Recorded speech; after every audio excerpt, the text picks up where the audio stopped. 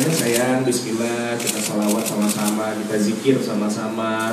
Kamu hebat kamu kuat eh, kamu akan jadi ibu yang hebat. Bismillah Bismillah sayang Bismillah. Ketika anaknya lahir pun eh, yang pertama gue lakukan ya tadi gue bilang eh, anaknya menangis uh, terus guanya happy tapi gue tidak lupa sama Adis. Jadi gue langsung menuju ke Adis gue bilang sayang kamu berhasil. Aku sayang sama kamu, I love you, dan insya Allah kamu akan menjadi ibu yang hebat buat anak kita. Gue berusaha untuk selalu memperhatikan dia gitu.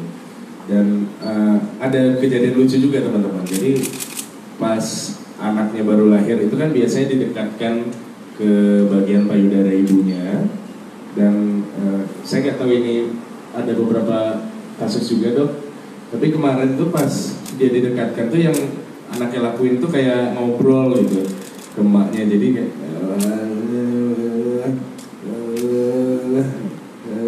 terus disautin juga sama oh iya iya nah oh, oh, gimana tadi ceritanya? Oke gitu gitu jadi lucu banget. Kayak gitu. Hari pertama merawat baby J nih seperti apa nih? hari pertama? Waduh. Ya tadi karena baru tidur dua jam ternyata kita tuh kalau happy banget, kalau excited banget tuh kayak nggak ingat kalau sebenarnya badan kita tuh capek, badan kita tuh butuh tidur, badan kita tuh udah lemes gitu.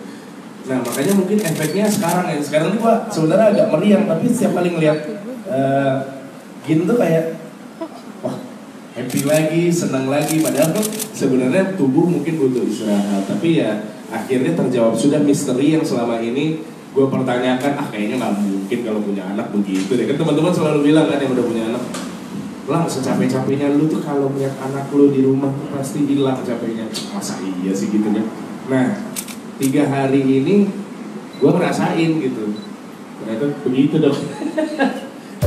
Terima kasih sudah menonton video ini. Jangan lupa subscribe dan aktifkan lonceng notifikasi supaya kamu nggak ketinggalan video terbaru dari Grid.